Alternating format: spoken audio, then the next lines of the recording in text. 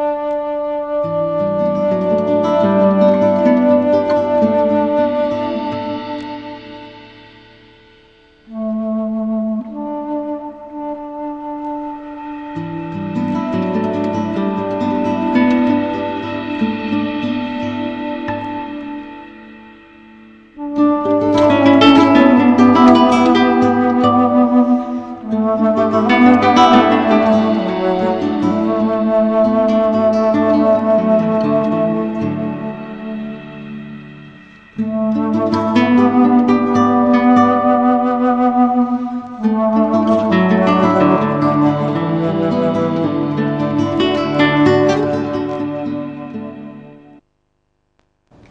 السلام عليكم. نرحب فيكم مع برنامج علماء مبدعون وهذا البرنامج يهدف إلى توثيق سير علماء الأمة وكل من جدد لهذا الدين أو قدم إضافة في هذا الزمان في خدمة الإسلام والمسلمين. ولا شك حقيقة التعرف على سيرهم والإطلاع على تجاربهم ومواقفهم في الحياة يزيد الإنسان نشاط ويقتدي بمثل هذه الأعمال ويعلم أن هناك من يتحرك لخدمة الإسلام والمسلمين. ونستضيف اليوم الدكتور عبد الله عمر نصيف وهو رئيس مؤتمر العالم الإسلامي وكذلك نائب رئيس مجلس الشورى سابقا وأمين عام رابطة العالم الإسلامي سابقا وأستاذ بجامعة الملك عبد العزيز. فنرحب فيك دكتور عبد الله أهلا وسهلا فيك. يا مرحبا بارك الله فيك. حياك الله. وودنا حقيقة في البداية دكتور عبد الله نعرف أنه ما شاء الله الأعمال كثيرة والخبرات واسعة. لو تعطينا تعريف بالبطاقة الشخصية لحضرتك من حيث أين ولدت وسنة الولادة فنتعرف عليك دكتور. تفضل. بسم الله الرحمن الرحيم. أنا ولدت في جدة عام 1358 اللي هو 1939 ميلادية. ونشأت في بيت جدي في جدة.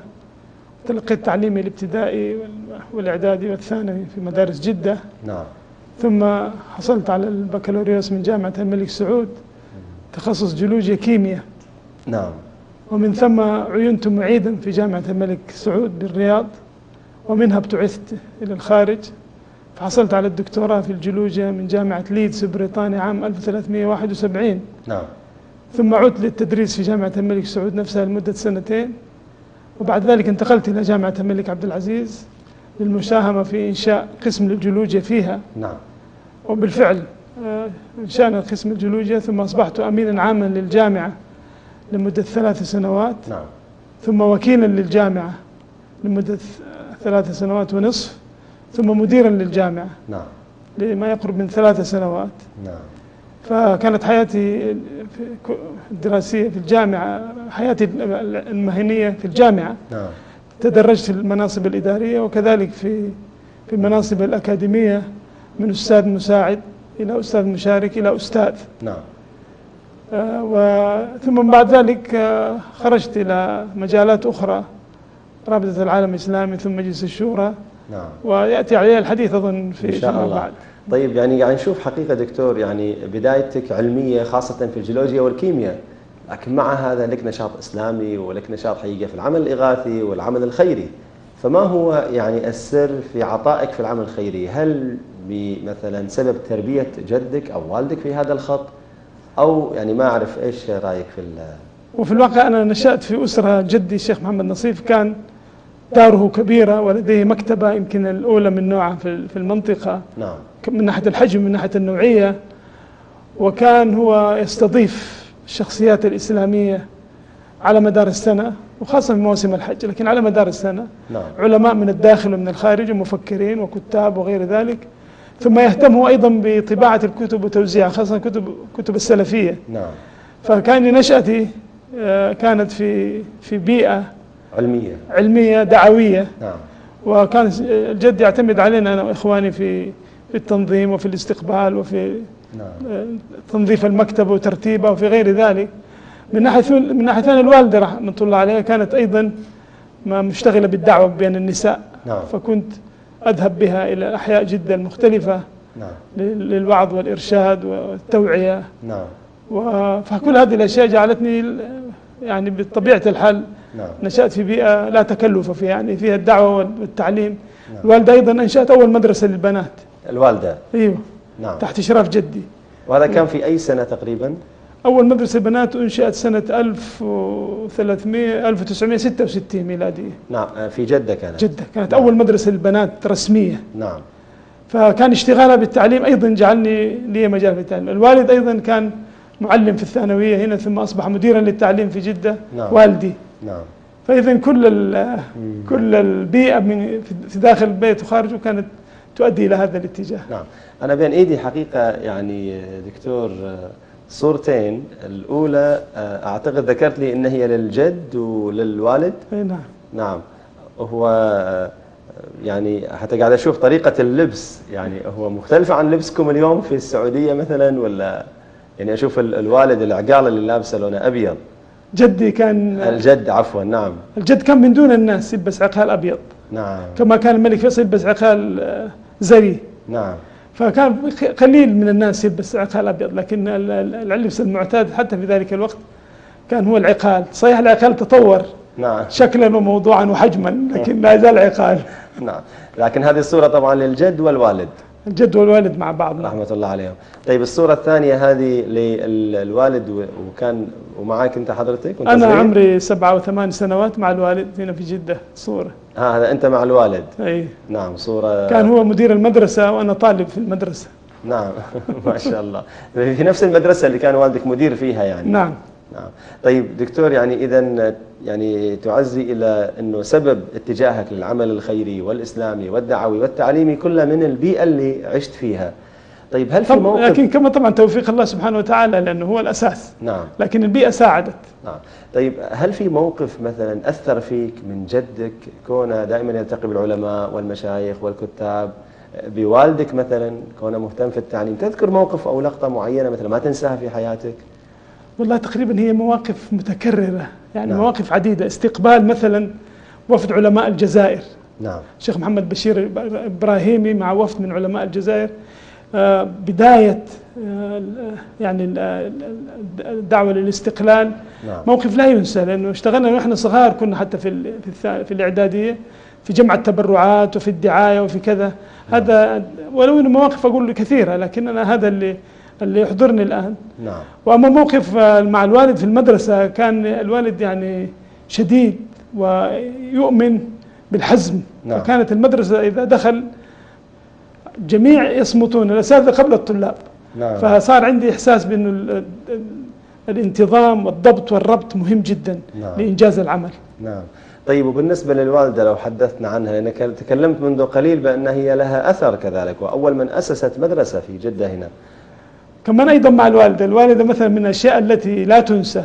نعم. كنا نذهب إلى القرى المحيطة بجدة. طيب. الآن أصبحت جزء من جدة. الرويس والنزلة وبني مالك. نعم. وكانت تدعو هناك النساء إلى التوحيد وترك البدع والخرافات. فكنا نجمع في نهاية اليوم كمية من الحجب والتمائم والخرز والودع والأشياء التي يعلقها الناس اعتقادا بنفعها. نعم. فكنا نجمعها. وأشيلها أنا في السيارة وأحضرها إلى وأقوم بقص الحجب مع أن الناس ينبهون علي لا تفتح الحجاب هذا خطر. أفتح الحجاب وأفتح في الداخل أشوف إيش مكتوب فيه. نعم. قليل منه في آيات كرسي أو قل هو الله أحد والمعوذات وما أكثرها شخابيط لا أستطيع أن أتبينها. نعم. فهذه ال- هذه التوعية ظهر أثرها الآن. الفتيات الذين في المدارس وفي التعليم نعم. يعني يدعون للوالدة بالخير أنها نبهتهم إلى هذا الجانب. الحمد لله العالمين. طيب دكتور آه، عبد الله أنا بين إيدي الآن مجلد آه، باسم محمد نصيف حياته وآثاره. وهذا ال- الكتاب الكبير يعني ألف آه، في حياة الجد وآثاره؟ لا نحن ألف- ألف قبل عشر سنوات فقط مؤلفين من ال- الإخوة الدعاة في مكة المكرمة. نعم. جمعوا الوثائق ووضعوا هذا المؤلف كان بود أن يكون جزئين لكن لم يكن هناك إمكانات كافية فخرج جزء واحد. نعم. هناك عدد من الوثائق محطوطة فيه وفي نعم. وثائق أخرى أضعاف هذا العدد لم نستطيع أن نضعها في الكتاب. نعم. فهو الكتاب عن لأنه قلنا لا نترك حياة الجد بدون تسجيل. نعم. وإن كانت هي جزء يسير من حياة حافلة بال- بالعمل الحمد لله. نعم. وأنا أشوف حقيقة فيه كذلك كثير من الصور. يعني مثلا في صورة مع الملك سعود بن عبد العزيز و... نعم.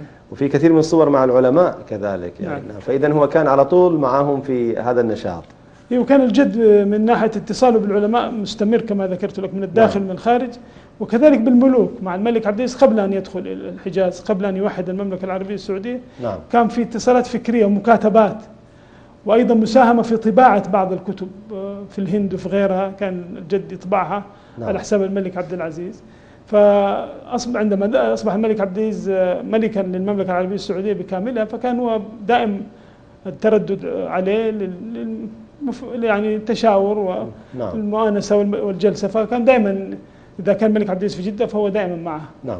طيب أنا أشوف حقيقة عندي كذلك بعض الصور أعطيتني إياها دكتور وحبك لنظام الكشافة وال فالعمل الكشفي ما أعرف يعني كيف أنت حبيته وانخرطت فيه وانطلقت من خلاله يعني. آه، يعني بدأت أنا التحاقي بال- بالحركة الكشفية منذ أكثر من 45 سنة. نعم. عندما كنت طالبا في الإعدادية. نعم. وتعرفنا أن هناك ما يسمى الكشافة من خلال الصحف والمجلات ثم من خلال إنشاء فرقة في في المدرسة. نعم. فانخرطت فيها فأعجبت بها لأنها أولا تعود على على النظام والضبط والربط وحسن الخلق وكل الأخلاق الإسلامية الفاضلة. نعم. تدعو إلى تطبيقها في واقع الحياة وليس نظريا. نعم. الإنسان يدرسها في مقررات وفي غير ذلك ولكن كونها تطب- تطبق وتترجم إلى عمل فأعجبت بها. ثم بعد ذلك تبين أنه هي فعلا وسيلة تربوية فعالة نعم. لجذب الشباب والمحافظة عليهم وتعويدهم على النظام وتعويدهم على إنكار الذات وعلى خدمة الآخرين وعلى خدمة المجتمع. فكل المعاني. ولذلك عندما آه، طلب مني أن أحضر بحث عن في حاجة تسمى الشارة الخشبية. نعم. آه، الشارة الخشبية يحصل عليها الإنسان بعد تدريب عملي نعم. ثم تدريب نظري. فأخذت التدريب العملي أنا في بريطانيا أثناء دراستي للدكتوراه هناك. نعم. والنظري عملته في القاهرة في المكتب الكشفي العربي فكتبت بحث عن أن الحركة المبادئ الكشفية إسلامية مئة في المئة. نعم. يعني ليس فيها ما هو مستورد. ول- ولذلك آه، لا استمريت فيها على كافة المستويات. قيادة كشافا ثم جوالا ثم قائدا في كل كافة المراحل. نعم. والآن آه، مشارك على على مستوى المحلي نعم. والعربي والإسلامي والعالمي. نعم. وأشوف هذه الصورة حقيقة الكبيرة يعني. هذا هذا وين في دكتور؟ في هذه صورة اتحاد ال- ال- الاتحاد العالمي للكشاف المسلم أنشئ منذ 15 سنة. نعم. آه، بهدف إيجاد التنسيق والتعاون بين المسلمين في البلاد ال- الكشافين في البلاد الإسلامية وفي المجتمعات الإسلامية والجاليات. آه، بهدف آه، إعطاء الإسلام بعد في حياة الكشافين في كل بلاد الإسلام. نعم. وهذا الاتحاد أنا أر- أرأسه في الوقت الحاضر. فنجتمع على هامش المؤتمرات الكشفية العالمية. كل سنتين أو كل ثلاث سنوات. فهذا اجتماعنا كان في ديربن في جنوب أفريقيا نعم. منذ سنتين تقريبا. آه، يعني يتشاور فيه قادة الكشافة من البلاد الإسلامية على ما يصلح شأنهم نعم. وينسق بينهم. نعم. لكن هل تعتقد دكتور إنه عندنا إحنا في عالمنا العربي والإسلامي اهتمام في هذا النظام؟ والله الكشفية لا تلقى الاهتمام في بلادنا.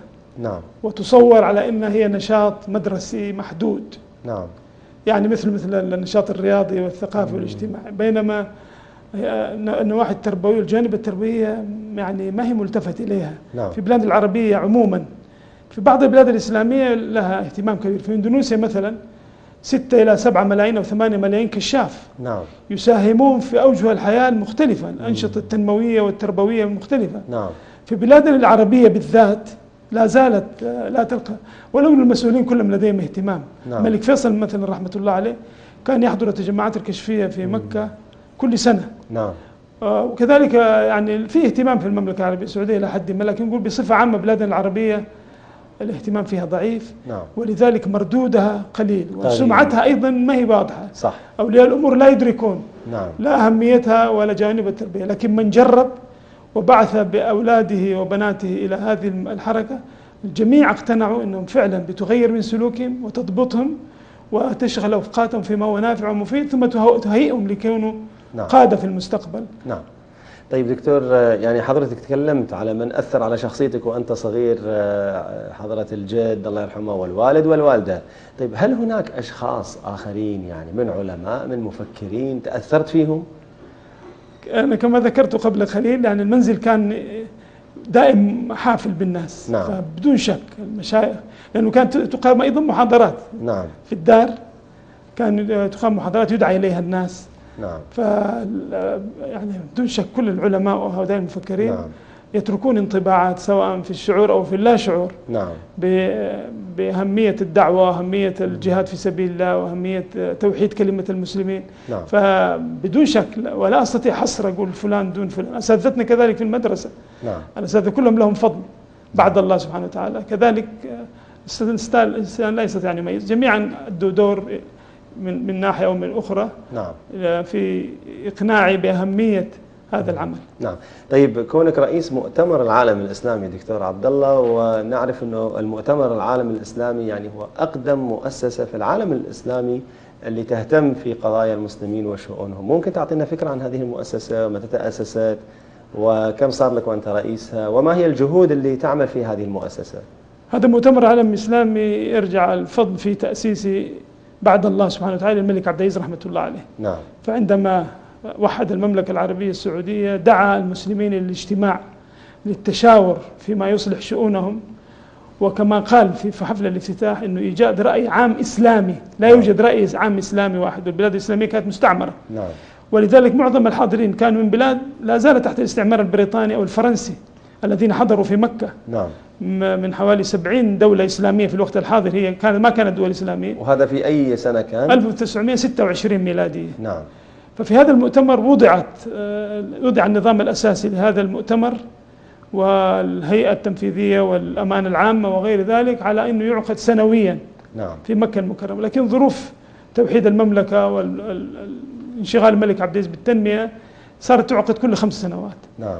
ثم الحاج أمين الحسيني مفتي فلسطين في ذلك الوقت طلب من الملك عبد العزيز أنه ينتقل به بهذا المؤتمر إلى القدس. نعم. لإعطاء القضية الفلسطينية بعدا في في في في- العالم الإسلامي. نعم. ويصبح لدى تصبح قضية المسلمين الأساسية. وكانت فكرة جيدة. الملك عبد العزيز وافق مباشرة وفعلا. نعم. آه، أصبح الحاج أمين الحسيني رئيسا للمؤتمر وانتقل العمل إلى القدس. القدس سنة 30 أو 31 نعم. وطبعا بعد ذلك بدأت حرب فلسطين. آه، فعندما بدأت حرب فلسطين في الأربعينات 47 48 بدأوا نعم. يفكروا في مكان آخر لأنه أصبح يضيق على الفلسطينيين عموما نعم وعلى هذا المؤتمر لأن المؤتمر سجل تسجل في الأمم المتحدة كمؤسسة غير حكومية نعم من مؤسسات التابعة للأمم المتحدة وبالتالي يشارك في وضع تصورات وكتابة أور- أوراق أو مشاريع أوراق نعم. آه، بحوث يعني على قضايا المسلمين عموما تطرح نعم. في في الأمم المتحدة فعام سب- 48 آه، أصبح من الصعب عملها. نعم. فالباكستانيين علماء باكستان اقترحوا أنه الآن دولتنا نشأت باسم الإسلام. نعم. باكستان انشأت باسم الإسلام. صح. فحبذا لو كان المؤتمر فيها يعطيها هذا البعد. قوة. يعطي هذه القوة ويعطي أيضا للمسلمين اهتمام. ريثما أنه فلسطين آه، يكشف الله عنها ال- الكربة. يعني فنقل مؤقتا إلى في باكستان قرار إلى باكستان. نعم. وضع نظامه الأساسي في إحدى الاجتماعات ويجتمع المجلس التأسيسي المجلس التأسيسي يجمع علماء نعم. من العالم الإسلامي والمجتمعات الإسلامية كما هو الحال بالنسبة للمجالس الرابطة ومجالس المجلس العالمي للمساجد وغير ذلك. نعم. ويجتمعون كل خمس سنوات لوضع الأسس والنظام واعتماد الأنظمة والميزانيات. ثم الأمانة العامة وهي الآن في كراتشي الأمانة العامة. نعم. تعمل على تنسيق وتنفيذ القرارات ومتابعتها والمشاركة في اجتماعات الأمم المتحدة بعد وفاة الحاج أمين الحسيني أصبح الدكتور معروف الدواليبي نعم هو الرئيس مم. لمدة حوالي 23 سنة ثم نعم. طلب أنه يعفى لأنه كب- كبر سنا وطلب نعم. مني ألح علي أن أقبل لأن كنت أمين عام الرابطة نعم فقال ما في تعارض أن مؤسستين تكون أنت واحدة رئيس وواحدة أمين عام وبالفعل آه، في اجتماع عقد في كولومبو في في سري في سريلانكا. نعم. انتخبت آه، انتخبت رئيسا للمؤتمر. ورئيس المؤتمر ما له مدة شكليا له خمس سنوات لكنها يعني مجدد. تجدد. وانت ولم- هذا وهذا الكلام كان في أي سنة دكتور؟ هذا من, فترة طويلة ولا؟ لا لا منذ منذ عشر سنوات. آه من عشر سنوات. عشر سنوات. وأنت رئيس للمؤتمر. وأنا رئيس المؤتمر نعم. آه، وبالمناسبة هذا المؤتمر هو الذي دعا في إحدى مؤتمراته العامة إلى إنشاء رابطة العالم الإسلامي لأن نعم. هذا المؤتمر مؤسسة فكرية تجمع العلماء لشحذ الأفكار والآراء واتخاذ توصيات وقرارات نعم. بما يصلح حال المسلمين ويعالج قضاياهم يعني أمور لكن ليس له في الميدان واقع يعني دعاة أو مدرسين أو كذا نعم. أو تبرعات لمساجد أو مدارس. فدعا إلى إنشاء رابطة العالم الإسلامي. فنشأت رابطة العالم الإسلامي لكي تكون الذراع التنفيذي ولو إنها مستقلة طبعا ليس لها رأ... لكن هو المؤتمر اللي دعا. كذلك مؤتمر نفس مؤتمر العالم الإسلامي في. في لقاء آخر في الصومال دعا إلى إنشاء منظمة المؤتمر الإسلامي. نعم. لأنه أيضا الحكومات والدول والحكومات الإسلامية في حاجة إلى التنسيق نعم. والتعاون والانشاء البنك الإسلامي. فاذا هذا المؤتمر العام الإسلامي له الأقدمية وله أيضا فضل اقتراح آه، إنشاء مؤسسات اجتماع مؤسسات إسلامية عاملة في في طيب, الميدان. طيب دكتور عبد الله هل له أثر على العالم الإسلامي؟ أم هو شيء شكلي فقط العلماء أو مفكرين يجتمعون وهناك توصيات تقرأ وتتلى؟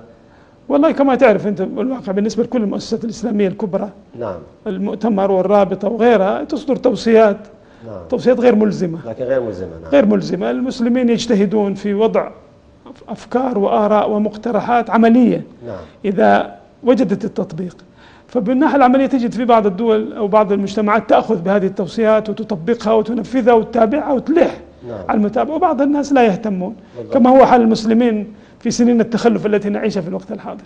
نعم. طيب دكتور يعني أنا قاعد أشوف مع انشغالاتك آه، في العمل الخيري والعمل الإنساني والعمل الإغاثي وكذلك يعني حضرتك في التعليم إلا أنه يعني أنت كذلك مساهم في كتاب يعني اسمه علم الأرض آه، مع دكاترة آخرين وكون أنت حقيقة مختص في الجيولوجيا والكيمياء مثل ما تفضلت فيبدو من هذا الباب ساهمت في هذا الكتاب. لا هي المادة التي أدرسها منذ عش- 25 سنة الآن. نعم. آه، في كتب موجودة لكن المراجع العربية قليلة. نعم. وبعضها يكبر زيادة عن اللزوم بأشياء تشغل الطالب. أنا هذه المادة التي أدرسها مادة جيولوجيا 101 تسمى اللي نعم. هي المتطلب أساسي في السنة الأولى. فعشان يتعود الطالب ويحب المادة ويتفهم لأن الجيولوجيا تحتاج إلى كثير من من الخيال. نعم. لأنك أنت تبي تنقل الحقل والميدان إلى الفصل. بالضبط. و- فلذلك أنا قلت أنه أضع هذه المذكرات التي وضعتها مع زملائي الاثنين الثانيين وضعناها في كتاب. ولا- لكن هذا لا يغني الكتاب عن أخذ الطلاب إلى الحقل. نعم. جزء من المقرر أخذ الطلاب إلى الحقل اللي يتفر يشاهدوا الصخور والمعادن وال- نعم. والتراكيب الجيولوجية. الواقع نفسه يعني. حتى يدرك الذي يتعلمه في فصل دراسي كامل يأخذه في ساعة يشاهده في الحقل نعم طيب دكتور تعرضت قبل قليل أنه واقعنا ال- والعالم الإسلامي والعربي اليوم في حالة ضعف. آه، طيب يعني ما هي وجهة نظرك آه، خاص- خاصة وأنت تعمل في مجموعة من الرابطات والمؤتمرات الإسلامية آه، كيف ممكن هذه الأمة يعني تعيد قوتها من جديد وتنطلق. بالحضارة كما كانت تنطلق في السابق؟ أنا دائما أقول أن ال- الواقع اللي نحن نحن فيه هو سنة من سنة من سنن الله عز وجل. نعم. لأن المسلمين لديهم منهج أساسي في القرآن والسنة ومنهج عملي ودين فطرة وقابل للتطبيق في كل المجتمعات وفي كل الأزمنة وفيه من المرونة والتكيف بما يصلح أحوال العباد والبلاد نعم. بدرجة كبيرة. ولكن هناك قوان- قوانين وقواعد.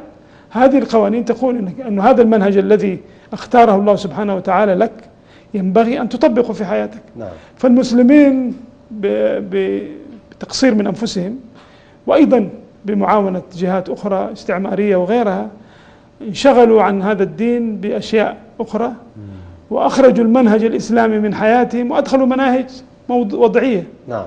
مع احترامي لهذه المناهج الوضعية وإن كان فيها شيء من الإسلام ولكنها فيها محاربة لله ورسوله. نعم. وفيها يعني تنكب للطريق وفيها أيضا مخالفة لدين الفطرة.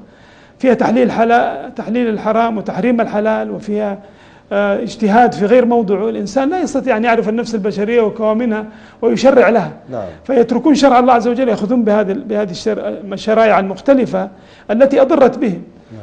ويدركون أنهم قد قصروا في ذلك وأنهم مخطئون ولكن كل إنسان يعتقد أنه ليس هو المطالب بأن يعود وأن عليه أن يصبر حتى يحدث تحدث معجزة وهذا لن يحدث. نعم.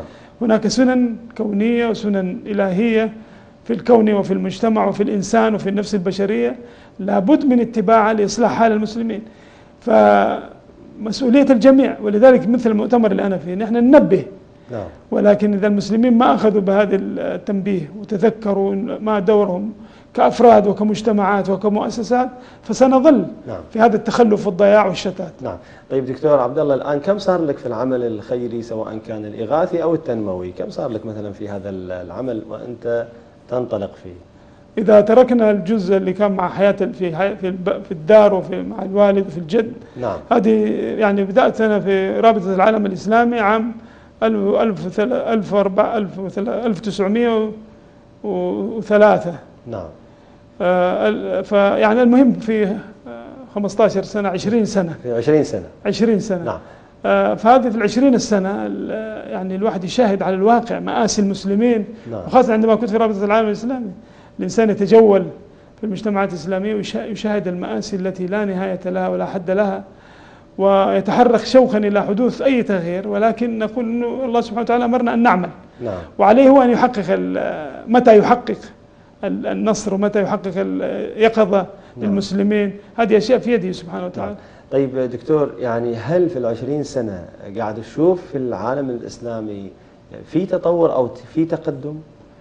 هناك تطور كبير بدون شك نعم آه، لأنه مثلا الرابطة رابطة العالم الإسلامي في خلال 30 سنة من حياتها قامت بإنشاء مئات المدارس والمساجد وأعطت مئات المنح الدراسية وساهمت في إعمار المساجد ماديا ومعنويا يعني إحياء رسالة المسجد وتدريب الأئمة والدعاء ومن ناحية البناء.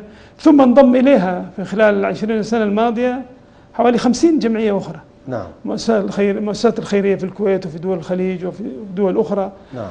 والعمل كبير من ناحية من هذه الناحية. ولكن طبعا الحاجة إلى أضعاف هذا العمل قائمة. نعم. فأقول أن هناك وعي لدى المسلمين على الأقل أن هم لديهم نقص ولديهم قصور ينبغي ينبغي أن يعملوا من أجله.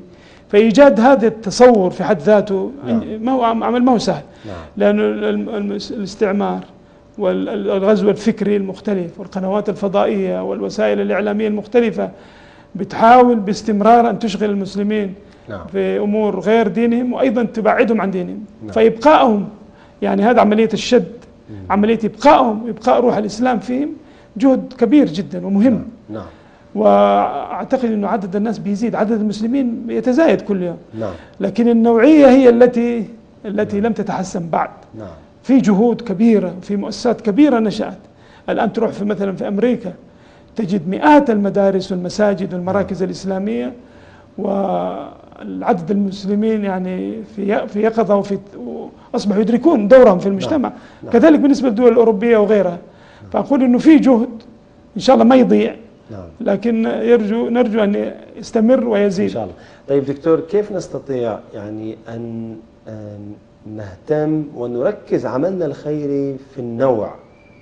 وليس العدد يعني إحنا يمكن نفرح في الأرقام الكبيرة والأعداد الكبيرة والمساهمات الكبيرة لكن بالأخير ما هي المخرجات؟ فهل نستطيع أن نحول يعني هذه الاستراتيجية في العمل الخيري من الاهتمام في العدد إلى الاهتمام في النوع؟ في الواقع ال- المؤسسات الإسلامية الخيرية أدركت أهمية أن يكون جزء الكبير من برامجها وميزانياتها موجه. لمشاريع تنموية نعم ودائمة والجزء اليسير هو يمكن الثلث أو أقل للمآسي والمشكلات والفقر والجهل والمرض. نعم. فبالتالي تجد كل المشاريع مثلا التي تمولها الهيئات الخيرية في في ال- في ال- في الدول الإسلامية. أنت كما تعلم في مجلس الآن للتنسيق. نعم. المجلس العالمي للدعوة والإغاثة ومجلس تنسيق في القاهرة مقره يجتمع كل سنة مرة. يأتي هؤلاء رؤساء الجمعيات وممثليها للتشاور في هذه الأمور. تنسيق وتشاور في المشاريع التنموية الدائمة. فمثلا إيصال شبكة مياه للقرى أو حفر آبار دائمة أو آه، إنشاء مدارس وإنشاء هذه كلها مواد أجزاء تنموية. نعم. إنشاء مراكز تدريب مهني آه، إنشاء دور أيتام كلها أنا أعتقد مشاريع لأنها هي موجودة. نعم. يعني قصدي المجتمع في حاجة إليها. تعويد الناس وتدريبهم على حسن إدارة العمل وحسن الاستثمار وهذه الأشياء أيضا جوانب تنموية. نعم. توجيه المنح الدراسية لكي تكون في أمور يحتاجها المجتمع على المدى البعيد. نعم. وليس فقط كان في الماضي الهيئات. الهيئات الإسلامية تعطي منح دراسية في العلوم الشرعية وفي. وفي اللغة العربية. نعم. الآن معظم المنح الدراسية في الطب والهندسة والكمبيوتر والأشياء التي المجتمعات في حاجة إليها. كذلك معظم الهيئات المدارس الإسلامية الآن في في القارات كلها آه، تدرس إلى جانب العلوم الشرعية تدرس مهن. نعم. بحيث أن الداعية إذا تخرج لا يتسكع ويتسول ويبحث عن عمل وإنما لديه مهنة مهنة آه، يقوم بأدائها من خلال عمله في مصنع أو في شركة أو إنشاء هو ورشة صغيرة على يعني صغيرة نعم. حجم نعم. هذا فهذا كل ما هو جو- جوانب تنموية ومهمة لكن هذه لعل يعني بدأ الالتفات لها مؤخرا دكتور عبد الله يعني أنا أشوف واحدة من الصور أمامي الآن حضرتك تتجول يبدو في بعض المخيمات في الأردن أو على المشكلة اللي صارت في فلسطين والأزمة فيبدو أنه هو عبارة عن عمل إغاثي هذا. نعم. أم أنكم وأنتم تتجولون تفكرون في أعمال تنموية في نفس المنطقة المحتاجة والفقيرة؟ طبعا ما- مخيمات اللاجئين كما تعلم هي في وضع مزري جدا. نعم. والناس يتطلبون المساعدات للأشياء اليومية. نعم. الأولاد بدون مدارس أو لديهم مشاكل ملاجئ لا توجد للأيتام مراكز تدريب مهني. إعطاء منح دراسية للشباب. هذه كلها أشياء هي تنموية في الواقع. نعم. فالحقيقة هناك توازن إلى حد ما بين الاحتياجات الآنية وال نقول الإغاثة الاستهلاكية نعم. وبين الإغاثة التنموية. لأنه في بعض الأحيان تروح لمجتمع صعب جدا أنك أنت تعمل مشروع آه، تنموي وهم الناس في في شد الحاجة مثلا إلى الطعام أو إلى الكساء أو غير نعم. ذلك. نعم. فلا بد من إيجاد توازن وأعتقد الآن الهيئة العالمية هي- هيئة الإغاثة الإسلامية العالمية في المملكة العربية السعودية وهي تنسق بين هيئات الإغاثية المختلفة نعم. أصبح لديهم آه، تصور واضح وأولويات. نعم. ويجتمعون في مكان الحاجة المكان اللي المشروع حاجة المشاريع إليه أكبر. ويحاولون الوزن بين موازنة بين المشاريع الإغاثية العاجلة ومشاريع التنموية. نعم. طيب دكتور لعل تكلمنا معك في المؤتمر الإسلامي لكن الرابطة يمكن ما أعطيناها حق في الحديث وأنا أمامي حقيقة صورة يعني صحيح أنها صغيرة لكن خلفك لافتة رابطة العالم الإسلامي وعلى يمينك الشيخ الشعراوي الله يرحمه. نعم. فيعني ما هي جهود هذه الرابطة؟ وهل هي مختلفة عن المؤتمر؟ ذكرت منذ قليل لعل هي الأداة التنفيذية نعم. للمؤتمر الإسلامي فممكن تعطينا فكرة بسيطة عن الرابطة وجهودك فيها؟ وكذلك هي الرابطة أنشئت عام 61 1961 نعم. آه، فترة استقلال الدول الإسلامية تقريبا نعم. في أفريقيا بالذات. فوجدت الرابطة نفسها يعني مطالبة بأن تملأ فراغا لأن الدول الاستعمارية انسحبت وتركت المجتمعات في حيرة من أمرها. نعم. من ناحية نظام الحكم من ناحية التعليم من ناحية ال- الاقتصاد والتجارة والتنمية أشياء كثيرة. فلذلك الرابطة بدأت منذ اللحظة الأولى في شغل هذا الفراغ وحاولت توضيح الصورة للمسلمين وتلبية متطلباتهم ومشاكلهم والدفاع عن قضاياهم في بعض الدول استقلت شكلا نعم. عندها قضايا. قضية فلسطين اللي هي عالقة منذ ذلك الزمن ومنذ قبل ذلك آه، الدعوة إليها إلى حلها وإيجاد تصور لها الدفاع عنها في المحافل الدولية نعم. في الأمم المتحدة وفي غيرها. فعمل جبار حقيقة. لا لا يمكن تمثيله في أرقام. آه، شيء كثير الحمد لله. نعم. وبصفتها عاملة في الميدان. هي ألصق يعني ألصق بالناس. نعم. يعني مجتمع مثل مؤتمر عام إسلامي فكري. الناس العاديين لا يهتمون. لكن الرابطة ولوجودها في الميدان نعم. ولانشغالها بمساعدة المسلمين في حل قضاياهم أحيانا تتوسط الرابطة لدى الحكومة المعنية لكي تعطي المسلمين في مجتمعها حريتهم وإمكاناتهم ومستلزماتهم هم مواطنين. نعم. فهذا مسألة هذه جعلت للرابطة مهمة. نعم. طيب. أنا أنا ظليت في الرابطة عشر سنوات كما تعلم وعدة أيام. نعم. فكان العمل لا ينقطع الحمد لله. هو مواصلة لما تم من ماضي وستستمر هذه الرابطة إن شاء الله في عملها. فإذا هي جان عملها ميداني تطبيقي. نعم. أنا شايف كذلك صورة يعني أعطتني إياها دكتور عبد الله بينك وبين الدكتور يوسف قرضاوي. أه، وأنا أحب حقيقة أسأل يعني هل علمائنا ومشايخنا اليوم يعني يتفاعلون مع هذه المؤتمرات والروابط والأعمال الخيرية بشكل جدي وفعال أم هو دورهم فقط إفتاء؟ والله يعتمد على العلماء. بعض العلماء يساهمون بفعالية وتأثيرهم كبير ورغبتهم في وجو- ظهور النتائج وتقويم الأداء نعم. كبير. مثل الشيخ يوسف.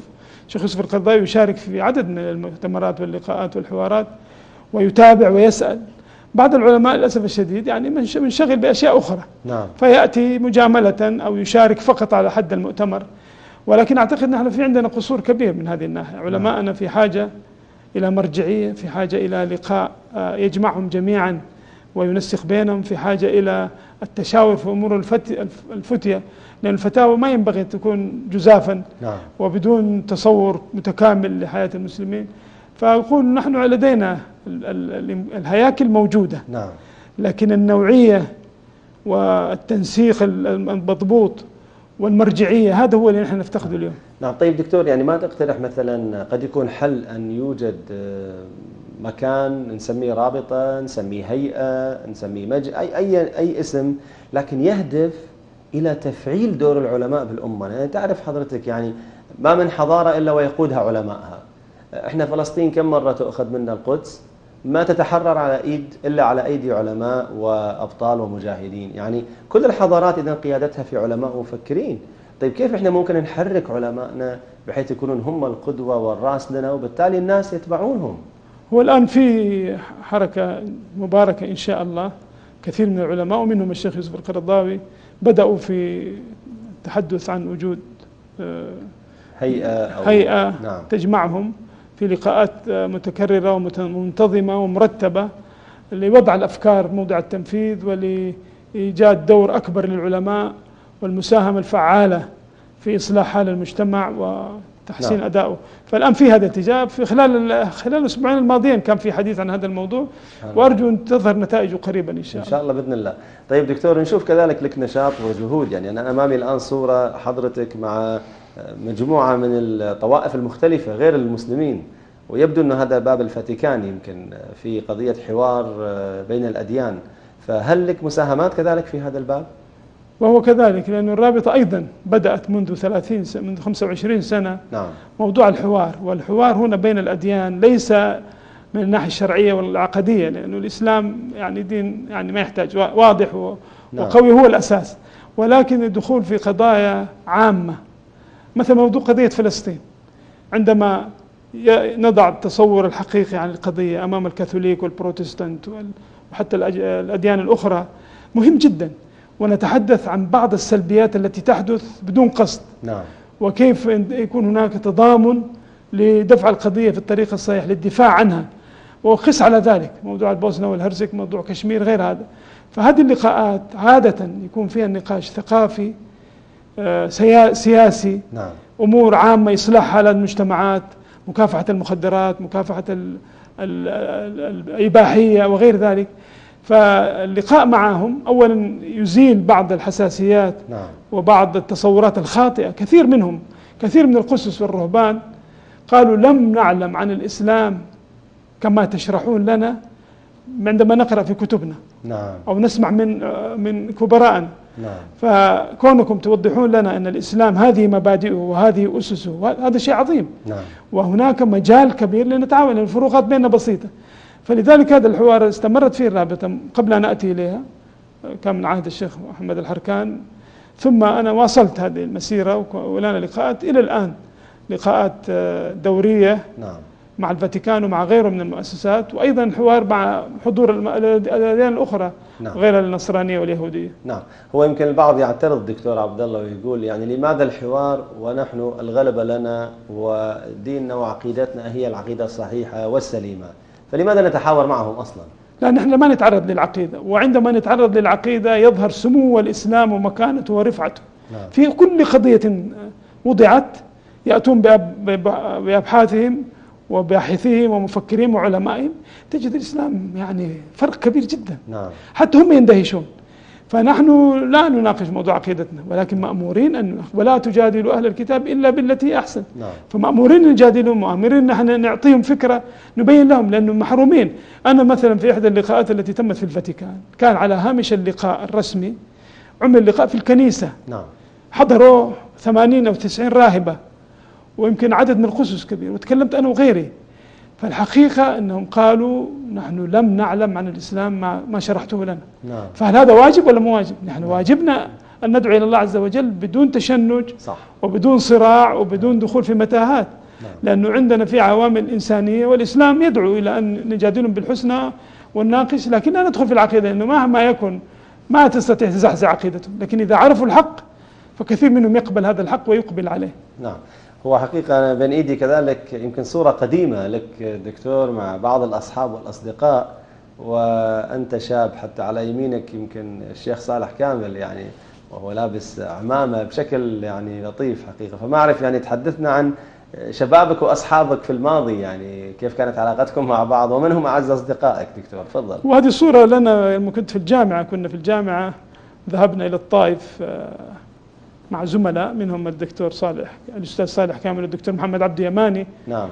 وغيرهم من الإخوان. فهذه الصورة تعيد الذكريات إلى ذلك العهد آه، عندما كنا شباب في الجامعة. يعني ما نعم. فيها شيء إضافي. نعم. طيب كذلك لك مساهمات دكتور في جامعة أكسفورد؟ يعني أمامي أنا الآن صورة حضرتك بقرب الدكتور القرضاوي ومجموعة من. وممكن تكلمنا عن هذا النشاط وهذا الجهد؟ مركز الدراسات الإسلامية في جامعة أكسفورد. أنا الآن رئيس المجلس. نعم. كان رئيسه الحي... آه، مولانا أبو الحسن الندوي نعم. الذي توفي منذ أكثر من عام. فعندما توفي أنا أصبحت رئيسا. فهؤلاء الإخوة هم أعضاء مجلس الأمناء لهذا المعهد. نعم. وفي طبعا غالبيتهم مسلمين. فقط ثلاثة أشخاص يمثلون جامعة أكسفورد. نعم. والبقية كلهم مسلمين من بلاد الإسلامية المختلفة. وكما تعلم هذا المعهد هو معهد دراسات وأبحاث. نعم.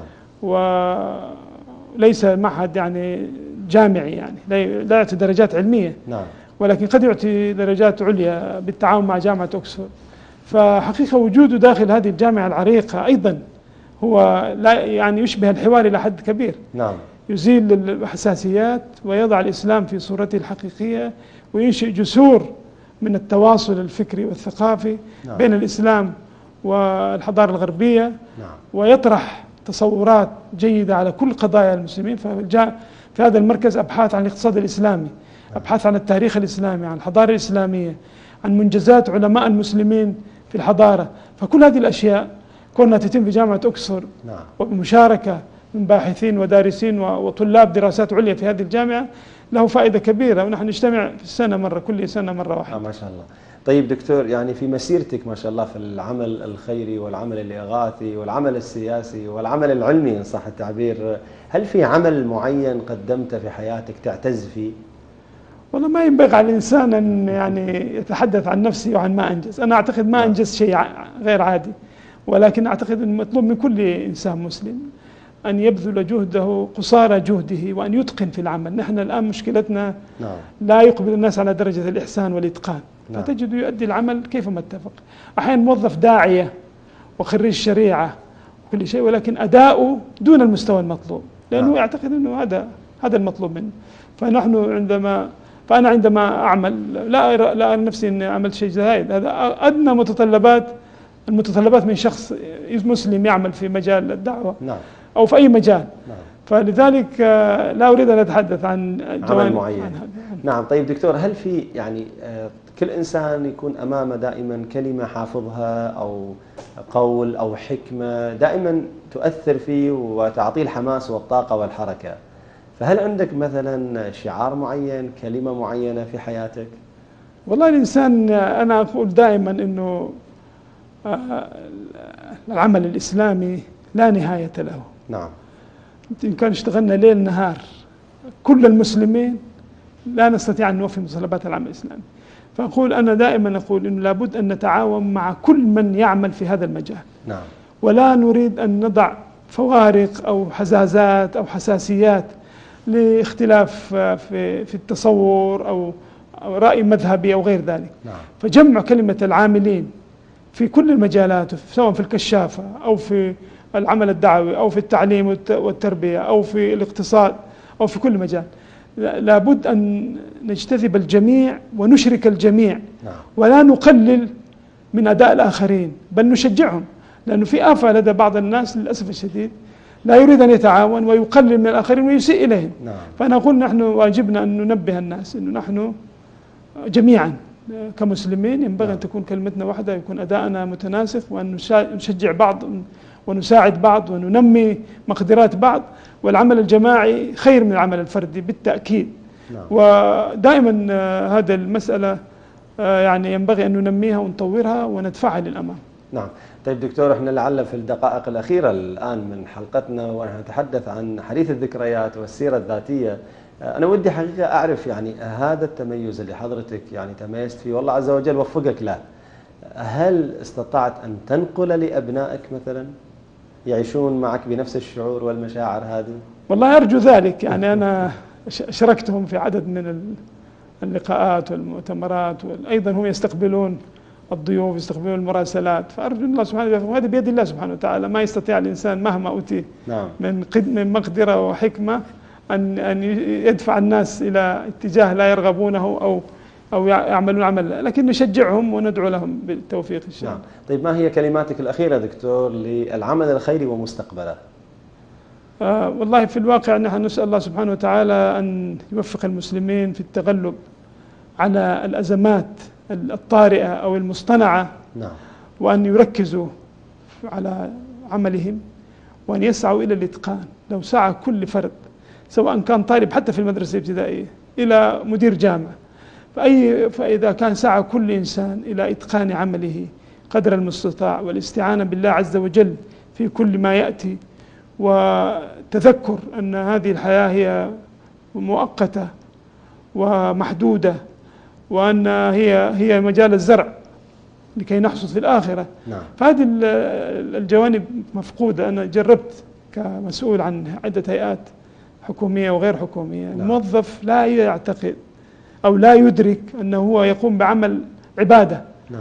وأن هذه الوظيفة التي يعملها ولو أنه يأخذ عليها أجر إن هي عبادة لله عز وجل. نعم. قليل من الناس يفكر. نعم. ولو فكر أن هذا العمل الذي يقوم به سواء إداري أو مالي أو فكري أو أنه هذا عن عبادة لله عز وجل وينبغي أن يتقن أداءها ويحسن فيه ويطوره ويقومه ويحاسب نفسه. نعم. نحن لماذا لا نحاسب أنفسنا قبل أن نحاسب؟ نعم. ونقوم أداءنا ونطلب من الناس أن ينصحونا. هذه كل المعاني مف- مفتقدة للأسف الشديد في كثير من مؤسساتنا و- نعم. وأنشطتنا. نعم. فنرجو أن ينتبه إليها إن الناس شاء الله. عموما دكتور إحنا شاكرين لك على هذا اللقاء الطيب. والمبارك. نسأل الله عز وجل يمتعنا ببقائك. حقيقة شكراً، بارك الله إلى كل خير بإذن الله. وفقنا جميعا إن شاء الله. آمين. شكرا دكتور. الله يسلمك.